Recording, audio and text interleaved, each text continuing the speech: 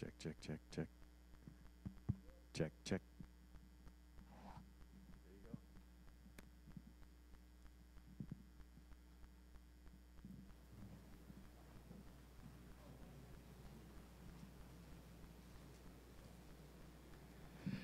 Good morning, church.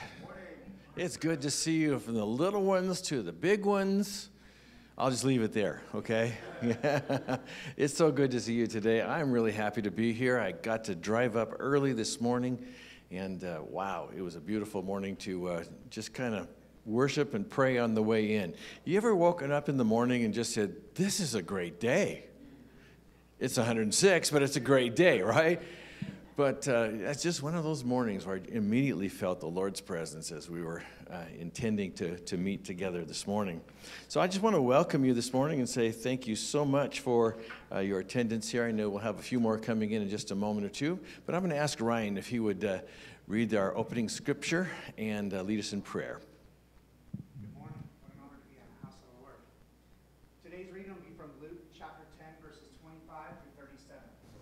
On one occasion, an expert in law stood up to test Jesus, but he wanted to justify himself, so he asked Jesus, And who is my neighbor? In, Jesus, in reply, Jesus said, A man was going down from Jerusalem to Jericho when he fell into the hands of robbers. They stripped him of his clothes, beat him, and went away, leaving him half dead. A priest happened to be going down the same road, and when he saw the man, passed by on the other side. So too a Levite, when he came to the place and saw him, passed by on the other side. But a Samaritan, as he traveled, came where the man was, and when he saw him, took pity on him. He went to him and bandaged his wounds, pouring oil and wine. Then he put the man on his own donkey, took him to the inn, and took care of him. The next day he took out two silver coins and gave them to the innkeeper. Look after him, he said, and when I return, I will reimburse you for any extra expense you may have. Which of these three do you think was the neighbor to the man who fell into the hands of the robber? The expert in law replied, The one who had mercy on him. Jesus told him, Go and do likewise. Please pray with me. Lord, you welcomed everyone who came into your presence it's especially evident in this parable.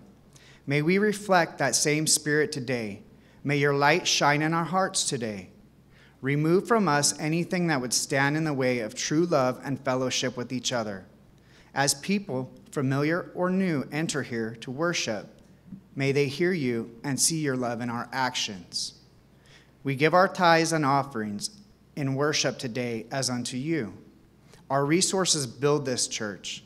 Because of our generous giving today, may we have the resources to continue to grow in our faith, build up each other, and help our community find salvation in you. In Jesus' name I pray. Amen. Amen. Thank you, Ryan. Appreciate that so much.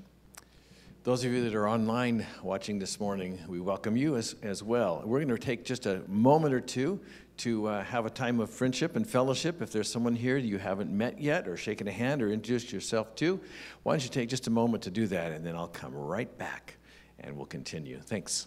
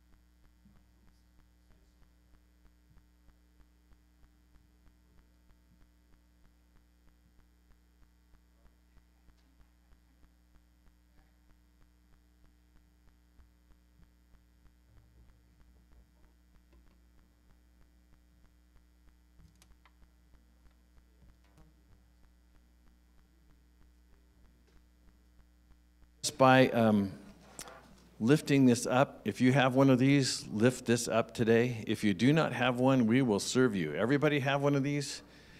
Actually, every individual, you don't have to be just a family member to have one. That's great, because I have a couple of things that I want you to do today. We're going to use the notes on the back of the page to do a little bit of writing toward the end, end of the message today.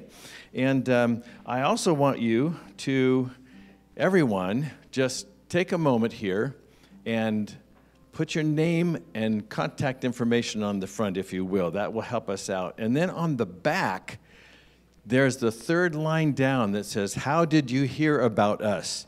If you've been to this church forever, or if you're brand new, or anything in between, I really would like for you to write down right now because we're going to use that piece of information later in the service.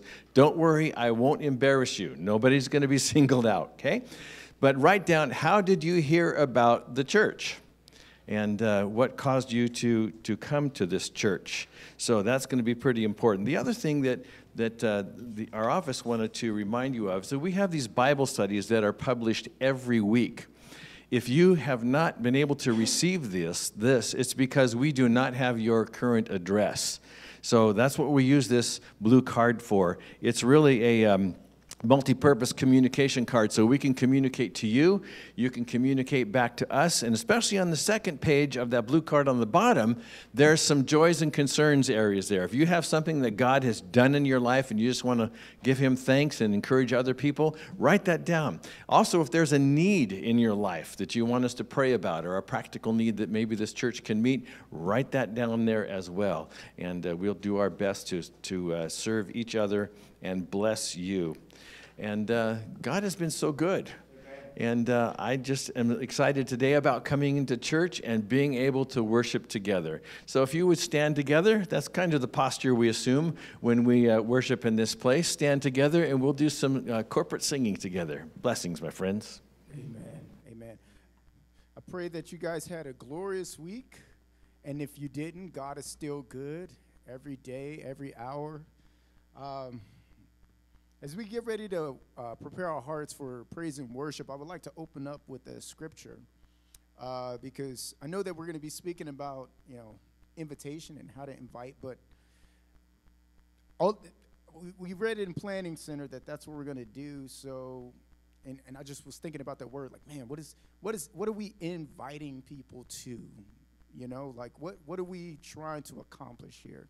Um, and really, we're just trying to invite people on what it means to be saved, what it means to be uh, uh, follow Jesus, all these things. And I just kind of want to open up with this scripture that, that God placed on my heart. It's from John 14, verses 1 through 7, and it reads Don't let your hearts be troubled. Trust in God and trust always in me. There is more than enough room in my Father's home. Is there, if there were, excuse me, if this were not so, would I have told you that I'm going to prepare a place for you? When everything is ready, I will come and get you, and so you will always be with me where I am. And you know the way to where I'm going.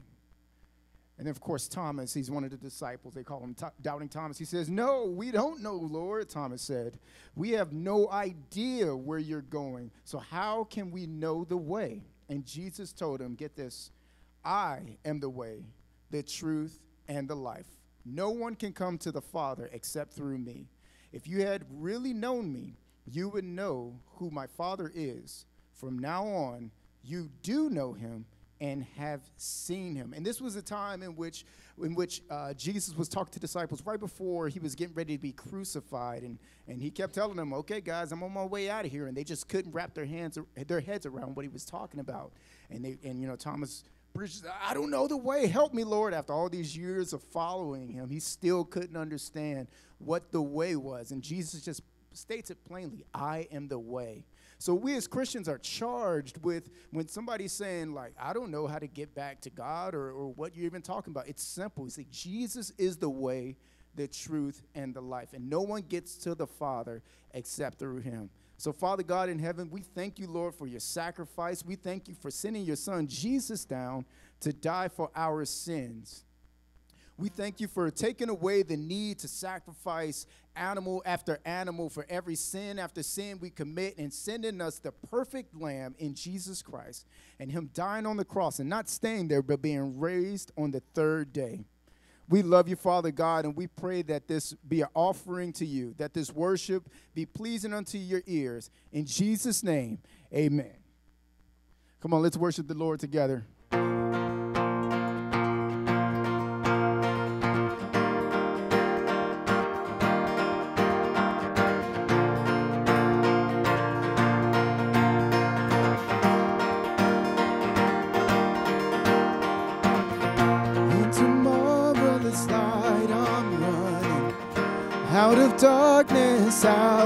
Shame. By the cross, you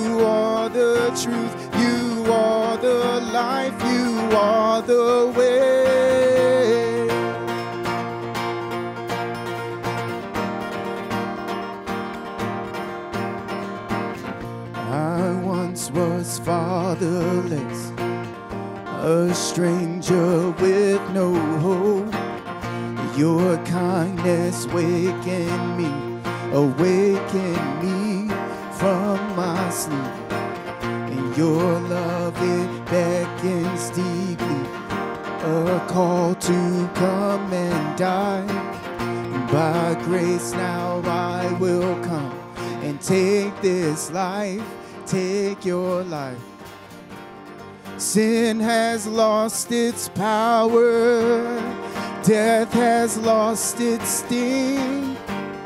From the grave you risen victoriously into marvelous light. I'm running, and out of darkness, out of shame.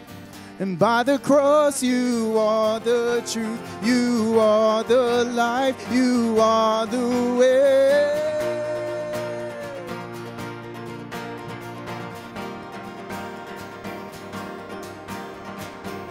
My dead heart now is beating, my deepest stains now clean. Cause your breath filled up my lungs. Now I'm free, now I'm free. My dead heart now is beating, my deepest stains now clean. Cause your breath filled up my lungs. Now I'm free, now I'm free. Sin has lost its power, and death has lost its sting. From the grave you've risen victoriously into marvelous light. I'm running, and out of darkness, out of shame. And by the cross, you are the truth, you are the life, you are the way. Into marvelous light, I'm running, and out of darkness, out of shame. By the cross, you are the truth, you are the life, you are the way.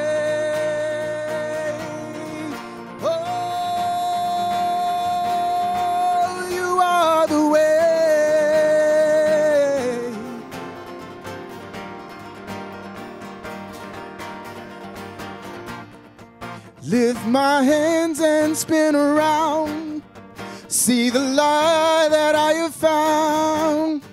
Oh, the marvelous light, the marvelous light. Lift my hands and spin around. See the light that I have found.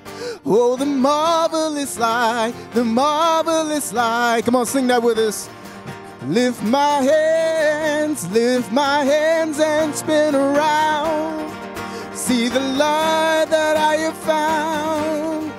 Oh, the marvelous light, the marvelous light. Oh,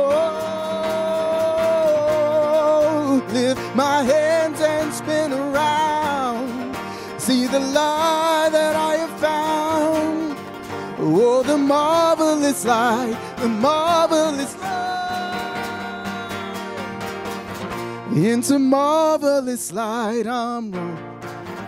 Out of darkness, out of shame. By the cross, you are the truth, you are the life, you are the way. Into marvelous light I'm run. Out of darkness, out of shame. And by the cross, you are the truth, you are the life, you are the way. Lift my hands and spin around, see the light that I have found. Oh, the marvelous light, the marvelous light. Lift my hands and spin around. See the light that I have found. Oh, the marvelous light, the marvelous light. Lift my hands and spin around. See the light that I have found. Oh, the marvelous light, the marvelous light.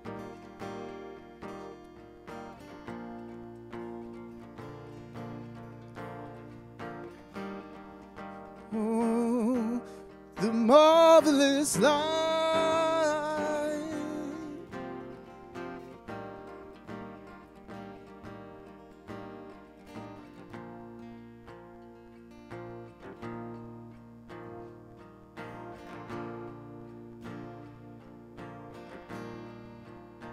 You are the way, the truth, and the light.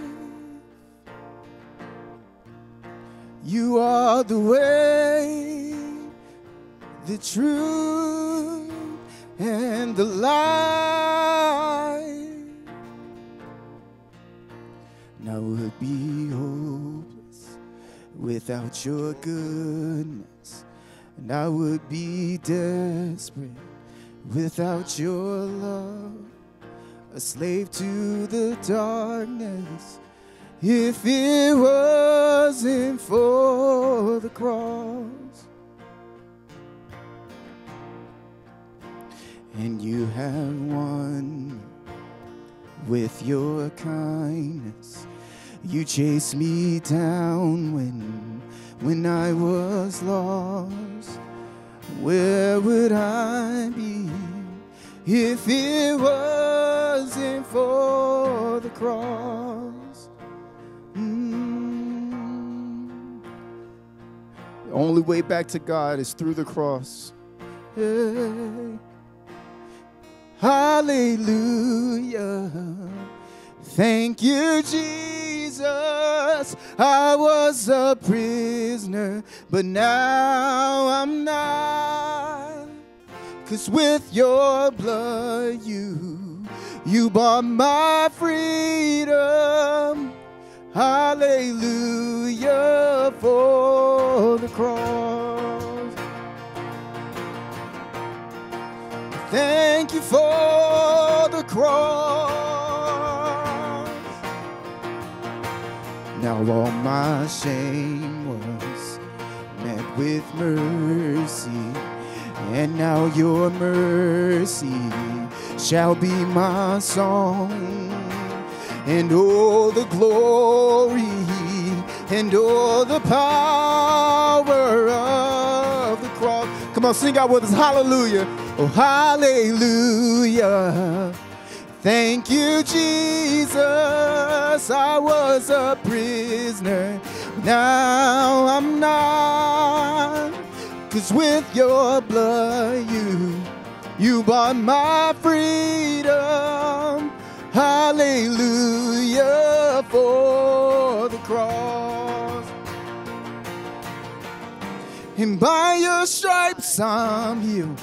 And by your death I live. The power of sin is overcome. It is finished, it is done. By your stripes I'm healed. And by your death I live. The power of sin is overcome. It is finished. it is done. By your stripes I'm healed, and by your death I live. The power of sin is overcome. It is finished, it is done. By your stripes I'm healed, and by your death I live. The power of sin is overcome. It is finished. Hallelujah. Thank you, Jesus. I was a prisoner. Now I'm not. With your blood, you you bought my freedom. Hallelujah for the cross. Mm, we thank you for the cross. For by your stripes we're healed. Your death has set me free. You washed away my sins. And now I'm free. We worship you, Lord. Oh, you are worthy of it all.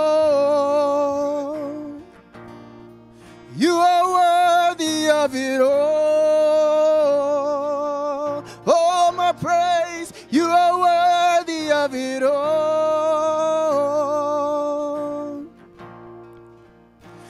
Who the Son sets free is free indeed who the Son sets free. Oh, is free indeed. How we love you, Lord.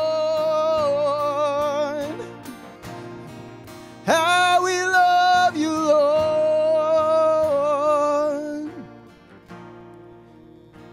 I lay it all at your feet. I lay it all at your feet.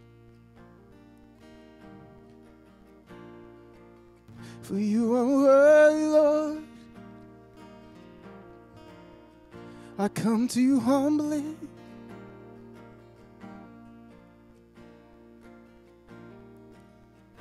We surrender it all to you. Oh.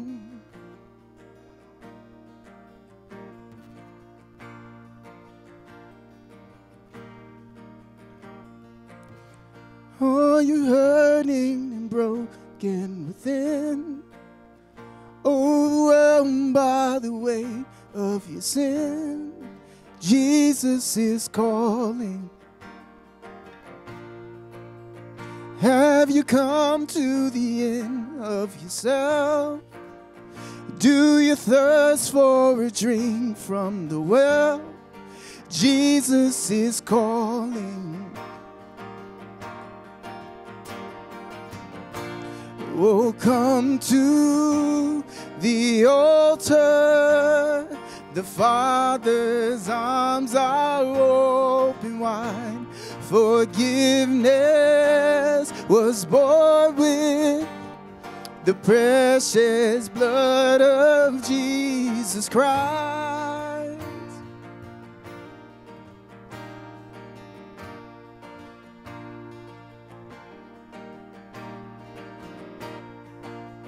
Leave behind your regrets and mistakes. And come today, there's no reason to wait. Jesus is calling. Whoa, bring your sorrows and trade them for joy. From the ashes, a new life is born. Jesus is calling. Hey, oh, come to the altar. The Father's arms are open wide. Forgiveness was bought with the precious blood of Jesus Christ.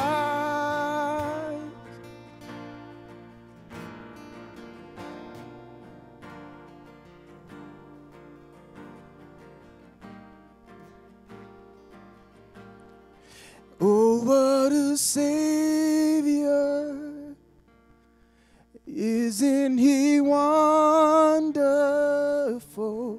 Sing hallelujah.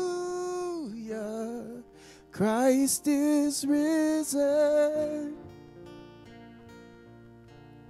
We bow down before him, for he is Lord of all. Sing hallelujah. Christ is risen.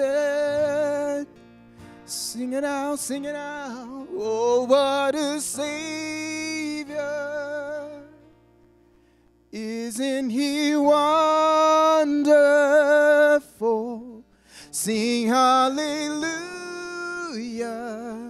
Christ is risen. We bow down before him for he is Lord of all. Sing hallelujah.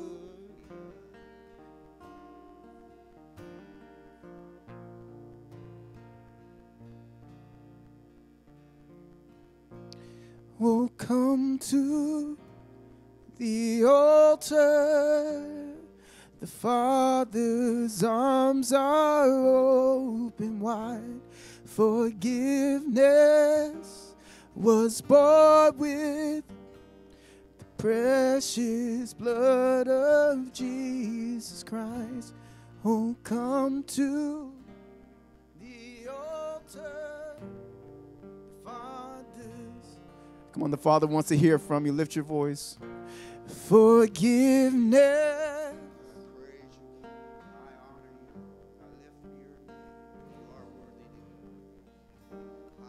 Christ. Oh, come to the altar. The Father's arms are open wide. Forgiveness was bought with the precious blood of Jesus Christ. Father, we thank you today that you sent your one and only Son to go to the cross to be a sacrifice. He was killed there. His blood dripped down, and that blood made atonement for our sins. And as Jamar mentioned earlier, Lord, the old has gone away where sacrifices were made for the forgiveness of sin. Jesus is now the one and only forever, no need to do it again, sacrifice for our shortcomings, our guilt, our sin, our shame, the way we offended you, God, and the way we offend others. You forgive that when we accept Jesus Christ as our Savior. And we thank you that we can do that and we can be clean inside. And as the songs have said and listened and told us already that, that we're now forgiven. The guilt is gone. We can walk on a new path. We can have a new life that begins with your help, your strength, and your power living in us and then through us. So we can be a witness to others of your grace and your mercy and your love toward us. So we accept that today. And we give you thanks today for what you did. We can never say thank you enough. The ultimate sacrifice you gave, you gave your life when it should have been required of us. Thank you for that, Lord. We will forever be grateful and thankful for your great plan of salvation. In Jesus' name we give thanks. And everybody said, Amen to that. Or if you prefer, everybody said, Yeah, man. Yeah, man. I like that one too. You may be seated. Thank you, guys. Appreciate you being here today very, very much. Man, what a privilege for me to be here. I, I always enjoy coming. And if you if you have not met me yet, my name is Ron. I get to be the interim pastor here. We're in between permanent pastors, and I have the privilege of being here on an interim basis just to kind of help us keep some continuity going and, and moving through uh, this interim time. So I'll be here for a while, as long as it takes, I guess, until we, uh, we find our, our future pastor to be. So I'm glad you're here today, too. You've come out, and uh, I guess you did the Beat the Heat service because you're here early, right? You did the Beat the Heat service. And if, uh, if I hold up this football, most of you here know what this is all about, right? This is a, a, part of a series. I think it's the third or the fourth part of the series called Back to the Basics. And uh, Back to the Basics means that uh, we're kind of getting back to revisiting here what it means to really be a church. And the reason I, I brought this football here is because it reminds us of what Vince Lombardi said to his Green Bay Packers after they lost the championship and beginning spring training again. He said to them, Gentlemen, this is a football. In other words, he was saying, I'm not going to take anything for granted. We're going to go back to the very basics of what the game of football is all about so we can win some championships. And so, while we're here today, I'm not going to take anything for granted from you either, for you on your behalf.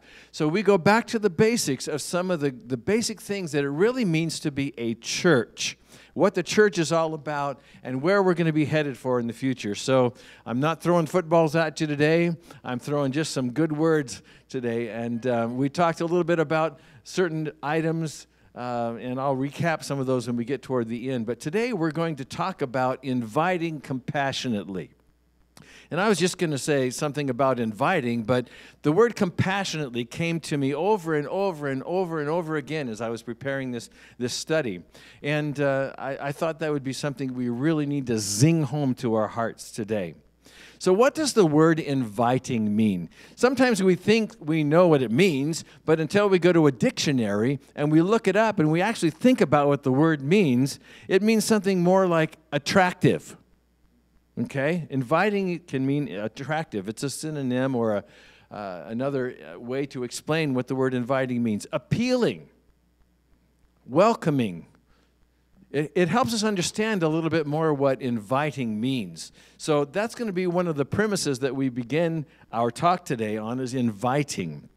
And we as a church are people who aren't just to be consumers, right? Not just to take it all in, but we're to also ask others to invite them and be a part of the good things of God that we have known and are partaken of.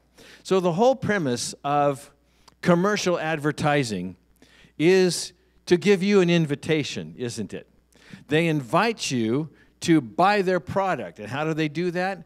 They make it attractive and appealing to you, don't they? You've watched enough television in your life to know that, that those commercials are there because they want you to buy something. Well, I'm not going to ask you to buy anything today, okay? I might ask you to buy into something, which is something that we really want to do. I was thinking about some of the most um, successful advertising campaigns that advertisers have used. Um, if I would say the California Milk Advisory Board, what would you say their slogan was? Who said that? Got milk. That's exa- have you heard that before? Got milk? I remember those commercials, and it wasn't recently, but I mean, these are some of the classics of all times. So you know that some, at least one of you got that commercial. I did too. Okay, that's two of us. We're in the same boat together. How about M&M's? Do you remember their slogan? You see, everybody eats M&M's, so everybody knows that one, right? They made that product appealing to you and then gave it a great slogan. How about Verizon? Cell phones. Can you hear me now? Yeah, you remember that now that you hear it, right? Can you hear me now? That was a very, very successful uh, advertising campaign. And here's one. I know you're all going to go find this after church somewhere in California today.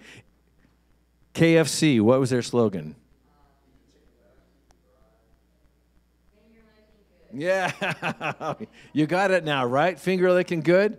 You remember that. These were some of the most um, successful commercial advertising inviting you to come and buy their product and enjoy their product. So I thought that was interesting today for us just to look back at that. They invite you to buy their product by make it appealing, and then they give you a slogan to remember it by. So melts in your mouth. I need M&Ms today. I haven't got my fix of peanut M&Ms. That's what we need, right? Well, maybe not so much, but it sure tastes good, doesn't it? So, we're going to talk today about being an inviting people. And this is, again, some of the basics of what church is really all about. Christians are not advertisers. We're not advertisers, but we are promoters of the gospel of Jesus Christ and the kingdom of God. That is why we're here on earth. We are promoters of that. So, how do Christians make Christian life inviting? How do we make the Christian life inviting? Scripture explains it's the way that Christ is seen in you. It's Christ's attributes that are seen in you. And if you don't know, know what those attributes are, it's in the book. Read the book, right? Especially the New Testament. Read those that and you will know what the Christian attributes are to be seen in us. 1 Peter chapter 2 verse 12 says this. Live such good lives among the pagans that though they accuse you of doing wrong, now, I, he didn't have to put that in there, but he did, didn't he? I, I hate that little phrase in there, though they accuse you of doing wrong. And I had to think about that for just a moment. Why would he put that in there? Because the Christian life is different from the worldly life, isn't it? So we live such good lives, good Christian lives among the pagans, and that's the word that they used, you know, back in the Roman and the Greek times when, when this particular uh, book was written. Though they accuse you of doing wrong, and why did he say that in there? Because Christianity was counterculture the major part of culture was not Christianity. It was growing and it was being spread during that particular time. So, biblical standards have most always been seen as counterculture. Even today, it seems to be counterculture. From everything that you read, everything that you see in our culture, we are counterculture people. But nonetheless, he says, live such good lives that people may see your good deeds and glorify God on the day that he visits us. In other words, people can see God in you because of the Christian attributes that you share. 1 Peter chapter 3 verse 15. Always be prepared to give an answer to everyone who asks you to give the reason for the hope that you have. That's pretty clear, isn't it? And then he says, do this with gentleness and with respect in other words, we're not getting into people's faces and pointing our bony finger at them, right? We're not doing that. We're letting those attributes of Christ in this particular case, in this particular scripture, as it instructs us, to be prepared to give an answer for the hope that people see in you. Galatians chapter 5, verses 22 and 23. Again, these are our New Testament scriptures here um, that the early church was, was reading and living by. And this one's very familiar with all of us, right? The fruit of the Spirit is love, joy, say it with me, peace, forbearance or patience, right? Kindness, goodness, faithfulness, gentleness, and self control. These are Christian attributes. These are attributes that God puts in us when we receive the Spirit of Christ in us. You got it? So these are things that should be fruit of what is happening in our lives. I like to be around people with these attributes, don't you? These are kind people. These are great people to be around. They're not in your face bugging you all the time, right? They're just full of peace. They're full of tolerance and kindness and goodness and faithfulness and, and gentleness and self control. So they're not going to go wonky on you. Wonky. Why did I use that word? I don't know. It's a good word, I guess, right? The scriptures, these tell us that the authentic spiritual life is an inviting life. Does that make sense to you? When these attributes are seen in you, some of the other people around you are going to say, I want some of that. I want some of that. I got to have that. What do you have that I don't have? And you're to be prepared to give an answer for the hope that people see in you. So, how will non believers know about new Christ, new life in Christ? Again, they'll see it in you. So the big question today is how do you and I represent Jesus? Ever thought about that?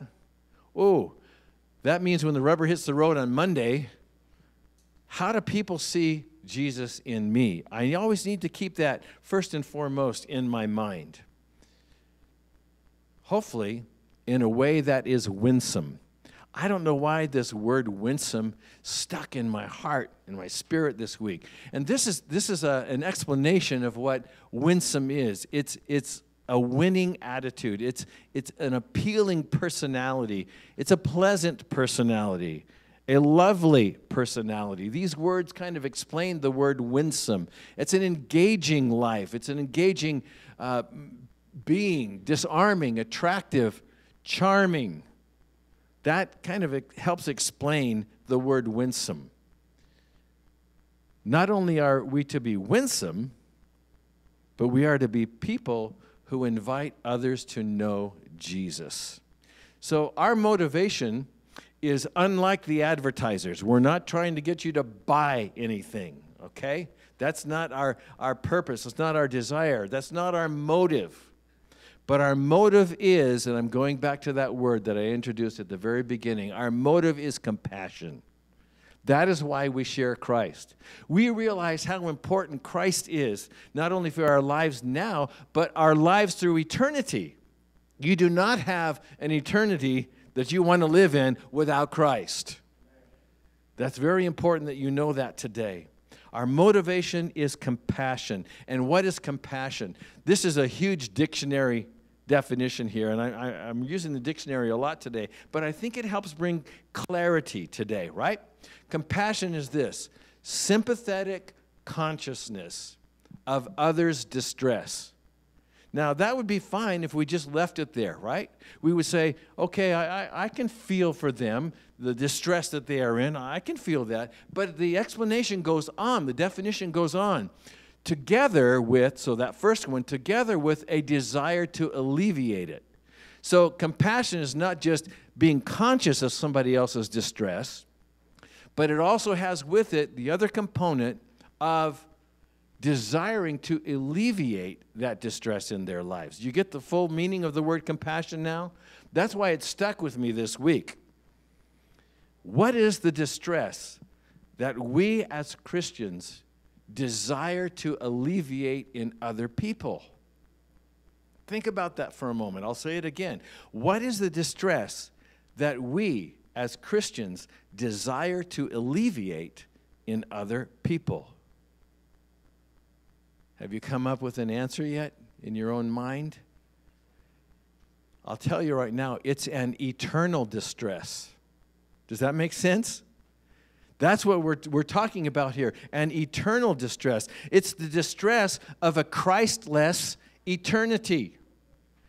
In a real place, and nobody likes to talk about this, called hell, where the unsaved will endure an eternal punishment and the total absence of God's grace forever and ever.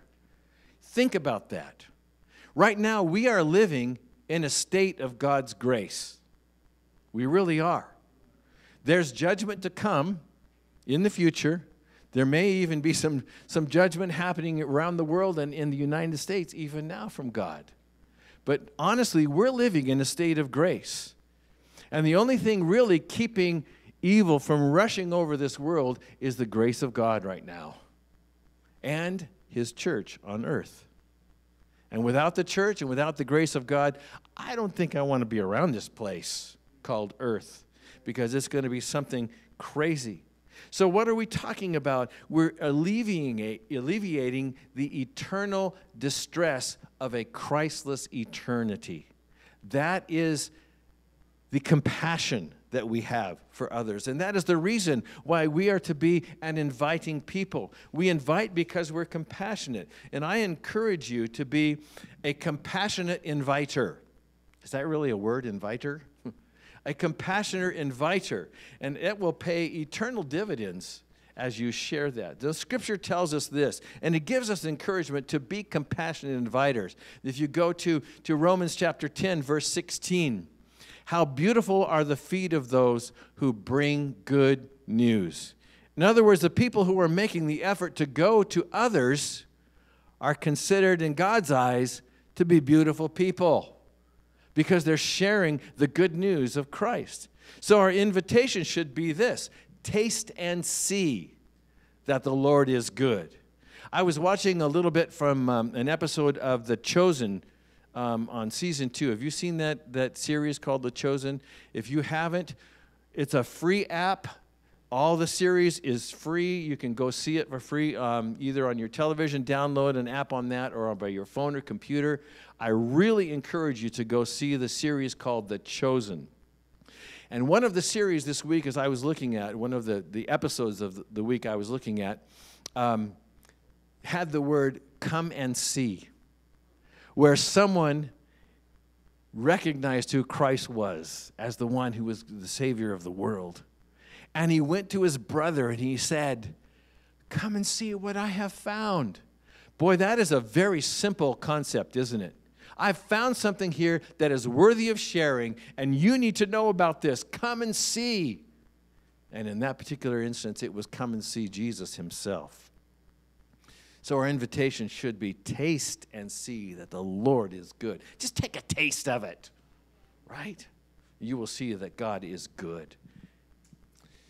The Institute for American Church Growth answered, asked this question and here it is. What was responsible for your coming to Christ and to a church? What was responsible for your coming to Christ and to a church? The answers were 3% said, I had a special need, so I came to church. 3% also said, I just walked in to see what condition my condition was in. Do you remember that song? Sorry, I don't know why that popped in. It needs to pop out right now, okay? Uh, the third one, 6%. I liked the minister. Well, notice it's only 6%. That's pretty low, right? Uh, the next one, I visited there before, uh, 1%. Uh, the next one, 5%. I like the small groups. Good fellowship happening there. Uh, one half of 1%, I attended a revival meeting.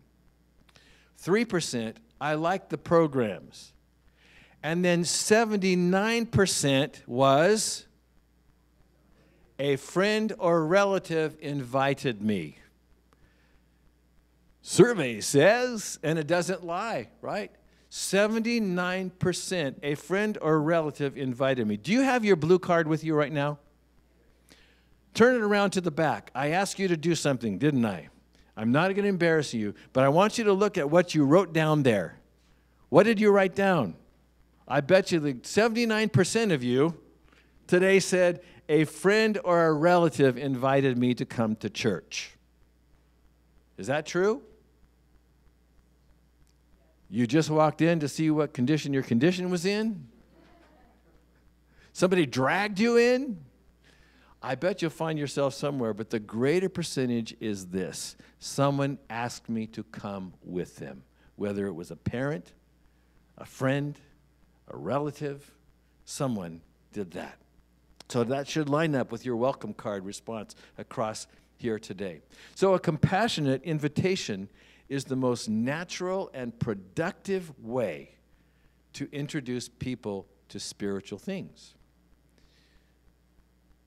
and then connecting to a church after that brings the encouragement that we all need to grow in Christ. We're not meant to do this alone, my friends. We're not meant to do the Christian life alone. We're meant to do it in fellowship with other Christians. We are meant to be connected to each other. If you don't believe that, look at your belly button. Okay? You're meant to be connected.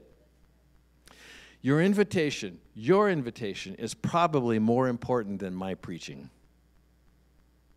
It really is to be an inviting church. So let's all be an inviting people and fill this place with new people seeking God. That's important. Again, this is the basics of what the church is all about inviting compassionately.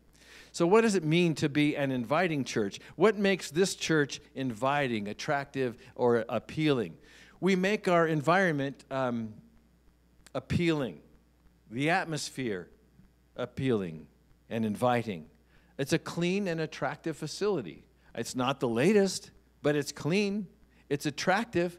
And, and, you know, the first thing when I walked into this church, it was a couple years ago when Pastor John had me come up and, and do some worship from time to time. The first thing I noticed when I walked into that lobby was the way it smelled. And it didn't smell bad, it smelled good. Have you noticed that when you walked in? You've been here a while now, so you probably you're not familiar. You can't I don't smell anything. Well, okay, we'll leave it there. But when you walked in that first time, you smelled something good, didn't you? It was an inviting scent. The physical environment has a lot to do with making people and families feel comfortable and cared for. You know, churches spend a lot of money on their facilities, which I think is a really good thing. We have to have facilities that are of good repair. Why let it waste and and, and, and just be disintegrated. You have to take care of those things, and that's a good thing. But it is the people in the church who make the biggest difference. I'll tell you that right now. The church can look great, it can be inviting, but you are the ones who make the biggest difference. It's not just the greeters whose quote unquote job it is to be out there, right? It's not just their job to meet guests. Guests notice if a church people really like each other.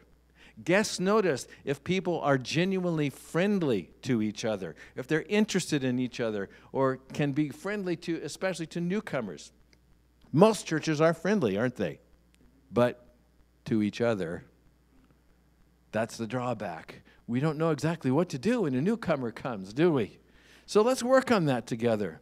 And, and, if people here are completely present as well, that means that they're engaged in what's going on People notice that if they're actively participating in worship, in the word, in fellowship, and what happens in this place around the services. And they also notice if the Spirit of God is present in this place. And I, I believe it is. You know, we all have the Spirit of God in us, but when we come together, I think things are magnified, made bigger among us, and together we can even give greater praise to the Lord. So, what can you and I do? We can be attentive and we can engage in the entire worship service. We can introduce guests to others in the congregation who might have common interests. In other words, you got to know who you're sitting by, whether you've been here a long time or a very short time. It's good to get to know people. And I try to do that from time to time, and I pray that you would too, especially. Um, another thing is that we can in- intentionally talk to someone that you have not yet met. Just don't smile and give them a handshake, but say something positive and encouraging to them that is genuine. Don't make it up, but be genuinely friendly. People can see and look through the fake, so we don't want to be that or do that purposely sit near and help a newcomer feel comfortable in the service. That's a good thing. So, the bottom line is this I'm just giving you a couple of very basic things. The bottom line is this hospitality is kindness rooted in the love of Christ. That's all that is. It's just kindness to one another kindness to the newcomer, kindness to the, to the one that, that has to come in and come out is sojourning, that's a hard word to say on a Sunday morning, through this area. It's always good to be that compassionate person. Have you sensed Jesus' love here? I have. I have. Then let's be compassionate inviters because other people need to sense Jesus' love in their life. Invite your neighbors, friends, and family to a worship service, a midweek uh, uh, Bible study or small group that we have. And you can see where those are listed in your bulletin this morning, too. If you'd like to attend that, I really would encourage you to do that. This fall, we're going to have uh, uh, some fun events for the community. You can encourage people to be a part of that. You can even ask them to serve alongside you. They don't have to be members of the church to help us serve and touch other people's lives. You can even ask them to come into your home. How about that? Wow. That's hospitality right there. Let me go back now to where I started at the very beginning. One of the most successful advertising campaigns was by a company that you've never heard of before called Nike. What was their advertising campaign? Everybody knows that, right? Just do it. So I'm going to zing you with that phrase today, not for their purposes, but for our purpose. When it comes to inviting someone to church, when it comes to inviting someone to church, you got it. Okay. Able to repeat that. You know, we're going to put some action to our words today, and I'm going to ask Judy. I see you out there. Judy, would you come up here and Pam come up here? I've got a couple of little things that I want to pass out to us really quickly here. Come on up, ladies, if you would. I want everyone to have something that is called a Matthew list. You have seen these before if you've been a part of this church. And um, I just want the top one, and you guys take the rest, okay? Make sure can't get that one. There we go. Make sure that everybody has one. Every person has one of these today. And this is just a very simple little tool that we have today to, to remind us of people who we can have a compassionate invitation for. What did Matthew in the New Testament do? Jesus saw Matthew and he called him to follow him. And Matthew did. But he did not stop there, did he? Matthew then turned around and went to the people that he knew, and he invited Jesus, and he invited Jesus' disciples, all of his followers, and the scripture says he invited many other disreputable sinners to his home. He did. Disreputable sinners to come and meet Jesus. How many of you in your past life were disreputable sinners? I think we all got to raise our hands for something there, don't we? Yeah. Matthew invited others to come. Now that you and I have answered Jesus' invitation, let's invite others, okay? Let's invite others. So, what I want you to do with this list is I want you to realize that you have three, at least three circles of influence in your life. There's a circle of people that you call family that are nearby. Okay, they may not be nearby, and you can still include them and pray for them on this list. There's another circle of influence that you have it's the neighbors and your friends nearby. Think about who those people are. And then another circle of influence that you have are people who you work with or you volunteer with. Three ideas, examples of places where you can think about people that you can invite compassionately to know Christ and to join us in worshiping Him. Who are they? Who are those people? Some of you are thinking about it right now. I want you to write those names down. I want you to write those names down. People who you know that are possibilities to invite to come to know Jesus and come to be a part of this encouraging fellowship. Father, I want to pray right now that the people that we are by, would be placed on our hearts. That we would be people who say, Come and see, or taste and see that the Lord is good. That we would live a life before them that would show them the hope that we have, not only now, but for eternity, that they need to have in their life. So I pray as various ones are writing down names now, and that your Holy Spirit would just, just have them say a prayer for them, would remind them, tap them on the shoulder to say, I need to pray for, and then invite these people that I put on this list. And I pray that this piece of paper would be something evident that we keep before us this week, and we'd have even more names by the end of the week of people that we can compassionately invite to be a part of the kingdom of God. Lord, I know you can, we can take the pressure off of this. It's only our job to invite. It's not our job to make them respond. We leave that to you. But it is our job to invite. So we ask today that you begin working on the hearts of the people that we have written down today. And Lord, bring them to our memory over and over again. Not only that we would pray for them, but we would invite them to taste and see that our Lord is good. Amen. Amen, and amen. I'm going to take just a moment here before we uh, close in worship to, to also um, just have a moment of, of uh, the Sunday of joys and concerns. We haven't done that for about five weeks because Father's Day was last week and we needed it on our calendar typically to do that. But uh, let me just uh, open the uh, invitation for you to share today. Are there any joys that you've experienced in the last weeks that you can share with the congregation? What has God done in you, for you, through you? Can you give a testimony of His goodness today? Anyone? Richard.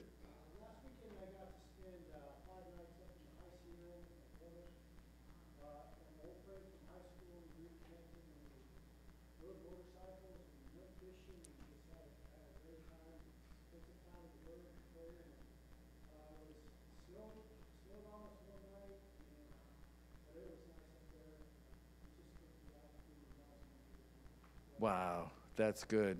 So, a restful, enjoyable, inspirational, fellowship, growing, praying time that God has blessed you with. Oh, and you didn't bring any of those trout back to me. Okay. I hope you left some for me because I'm going up soon. you got them all. That's good word, right? Good time of rest and relaxation. Anyone else? Is something that you want to share? Also, we want to talk about while you're thinking about that are some needs that you have, some things that we need to pray for today in the church. Yes.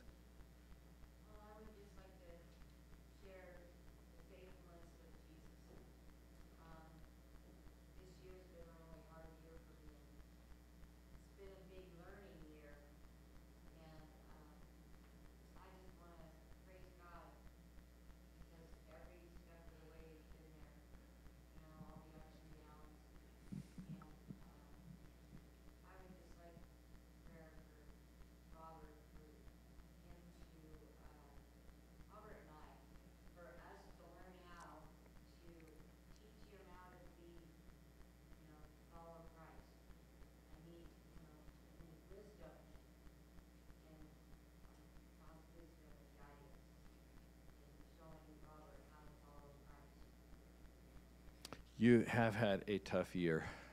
Single mom. I know that is tough. So we will pray. You know, if you want to put some of these requests on the back of your bulletin where some of those lines are there, it would be really be a great idea to help pray for some of these needs that are there. So, amen.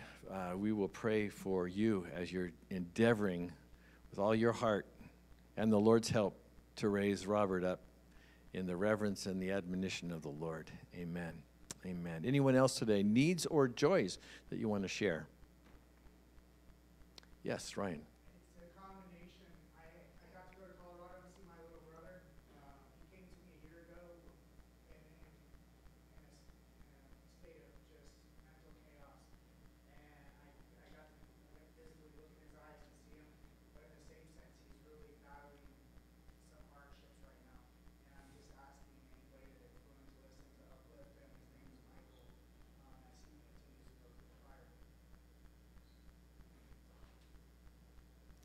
Okay, Ryan's brother, Michael. Uh, thanking God, first of all, for a good reunion, right? And also for the, the specific needs that Michael has in his life and to know the Lord in a great way. All right, anyone else? Joys or concerns today? Yes, Jessica.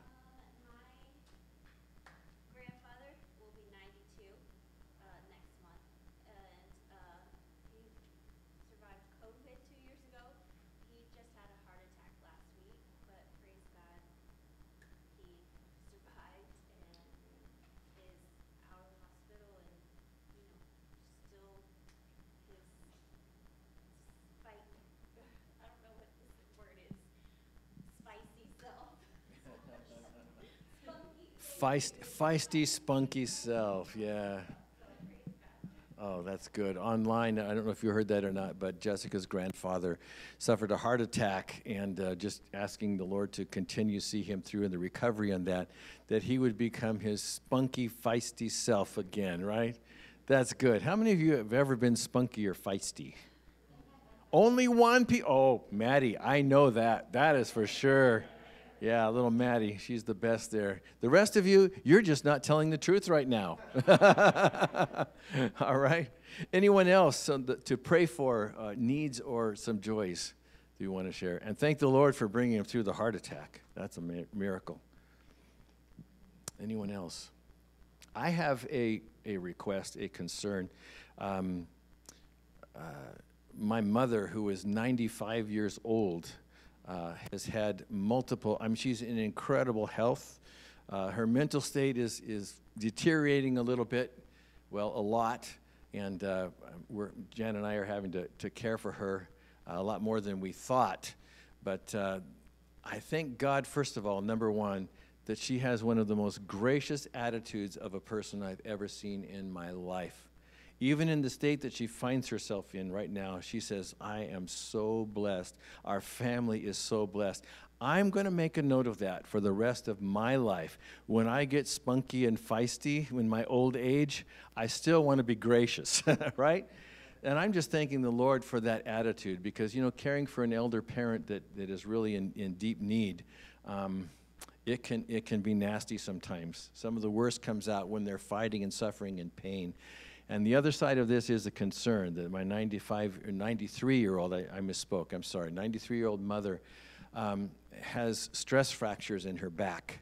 And she is in excruciating pain 24 7. There is nothing the doctors can do. You can't wrap it, you can't do anything. The, the doctor took an x ray and says her backbone is like honeycomb. And so that is so fragile. So um, uh, we're just asking the Lord to really work and undertake in that situation, especially when, when Jen and I have to care for her. And you know, life is not promised to us to be, what's the, the old song, a rose garden? But God has said, I will be with you. I will never leave you. I will never forsake you. When you call, I will hear and I will answer. So that's the trust and hope that we have in Him. Amen? Anyone else today before we, we close? All right. Lord, in your mercy, hear our prayers. Amen to that. So I would uh, encourage you today to write these needs and requests down and uh, pray for those this week as well. Another thing that I just want to say as before we close in, in prayer here today is we have some small group leaders that help us every single week. And I want to take a moment to recognize those that are here in the first service, and we'll recognize the others that are here in the second service as well. Just to, to say by name that we want to say our appreciation for their faithfulness in leading the groups on Monday, Tuesday, Wednesday, Thursday, Friday, Saturday, Sunday, Monday, Tuesday, Wednesday, Thursday, Friday, Saturday, and on and on and on, over and over. We just want to say thanks as a congregation to them, right?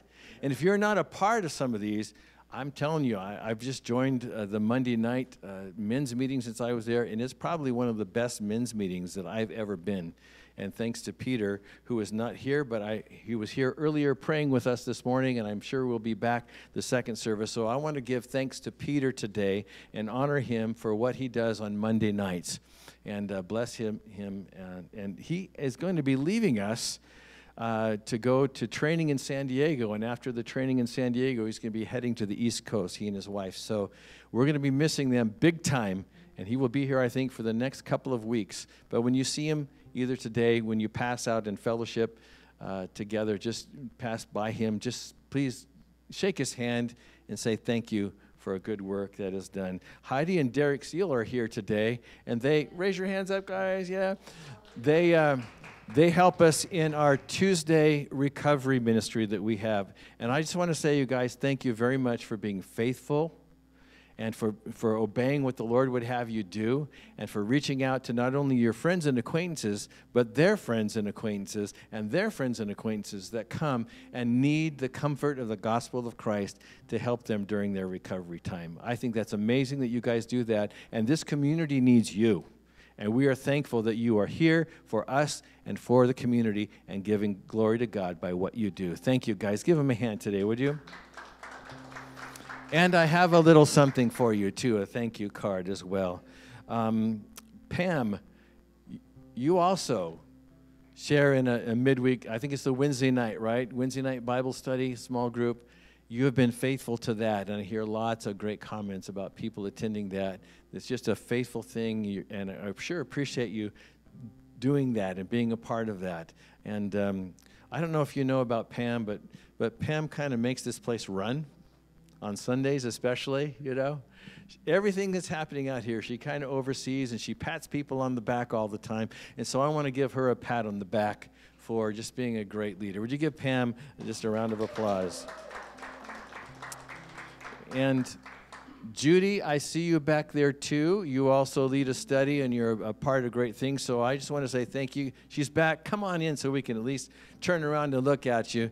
Judy also leads one of our ministries, and we want to say thank you, Judy, for your faithfulness and meeting with the ladies and encouraging them on in the Bible study. Give Judy a hand if you would do that, please. And on Tuesday night, too, um, Melissa McNeil is not here in this service. She may be out of town this week um, on vacation, but uh, we just want to say thank you for the girls' ministry called American Heritage Girls on Tuesday. And uh, there's just a lot, of, lot of young women who meet here and in the other building on a regular Tuesday uh, night, uh, along with our recovery ministry. Um, and they just lift up the name of the Lord and bless not only the Lord, but our country as well. I'm, I'm a God and country person. I really am. And you will probably see that on the 4th of July message next week, all right? I'm a God and country person. Anything that we can do to inject God into our country, I'm all for.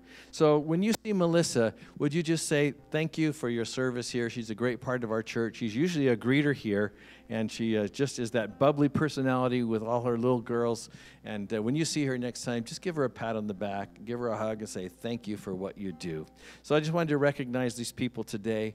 And church, you know, it's you that make this place happen. It really is. It's not a pastor. I just get up and go blah, blah, blah, blah, right? But you guys make things happen around here. And I appreciate that so much. So we thought we'd take this, this day in the month of June to recognize those who serve us in the area of adult teachers. Last, last month we did it with our kids. And so uh, we'll continue to just bless the people in our church. Would you stand together and we'll just sing a, a brief song of closing today?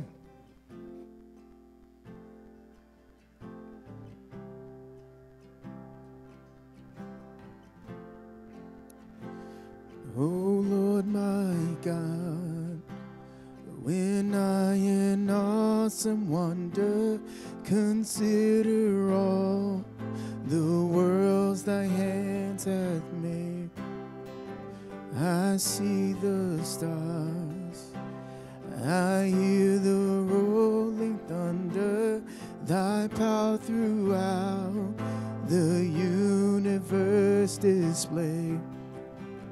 Then sings my soul, my Savior God, to thee. How great thou art, how great thou art. Then sings my soul, my Savior God, to thee. How great thou art,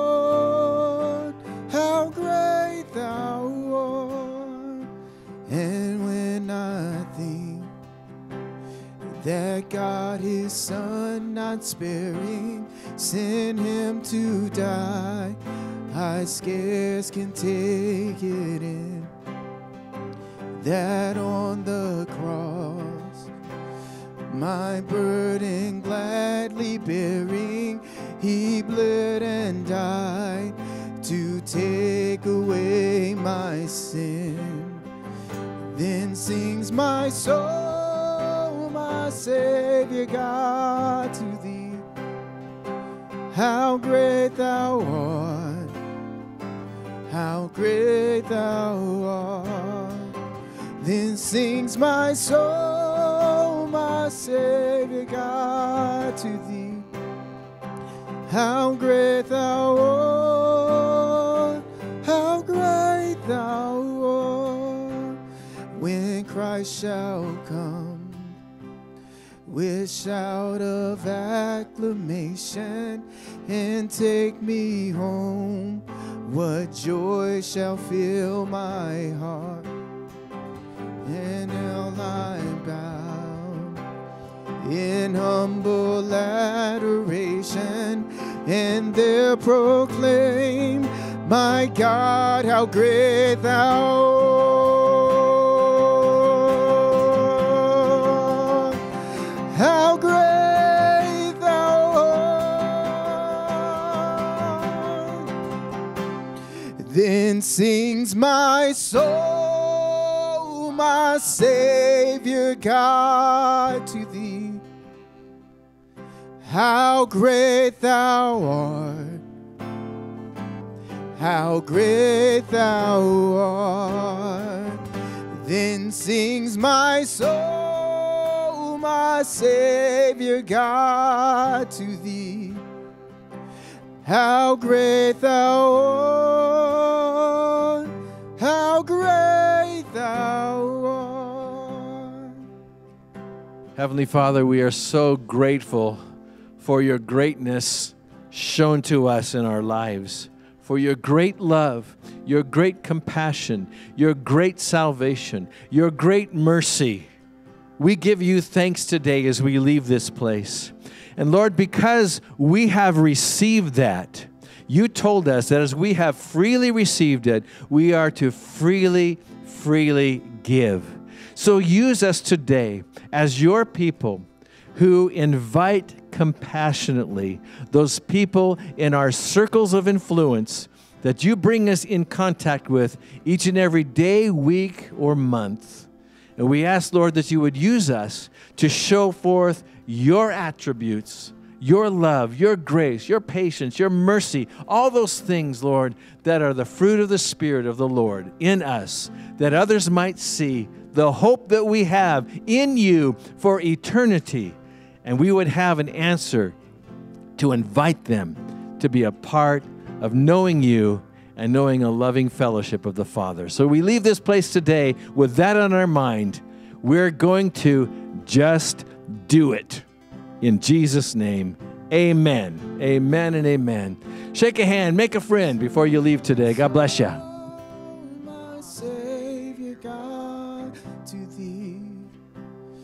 How great thou art, how great thou art.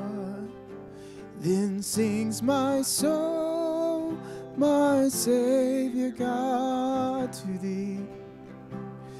How great thou art, how great thou art.